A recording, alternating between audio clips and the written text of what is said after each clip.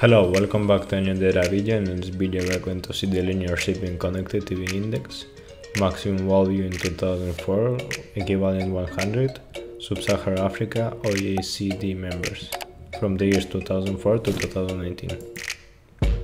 The linear shipping connectivity index captures how well countries are connected to the global shipping networks.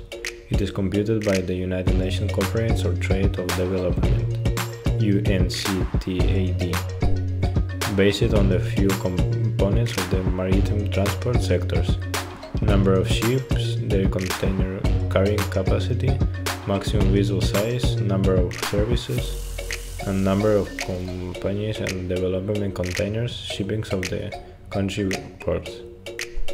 Thank you very much for watching this video, you can subscribe to the channel to see more videos like this and see you in the next one.